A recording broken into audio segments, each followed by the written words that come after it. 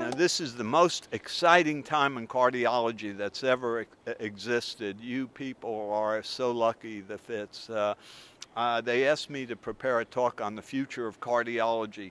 And if you look at nanotechnology, if you look at three dimensional bioprinting, if you look at the availability of new sensors, it's phenomenal. Cardiology will explode in the next 10 to 20 years.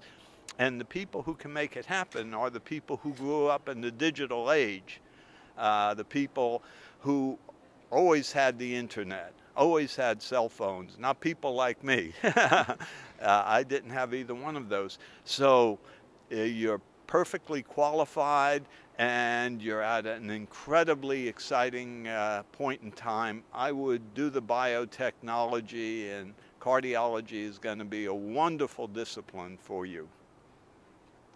So that was an, quite an inspiration for fellows like us and um, anything uh, we should focus on during this ACC this year, for specifically for the fellows in terms of trials or?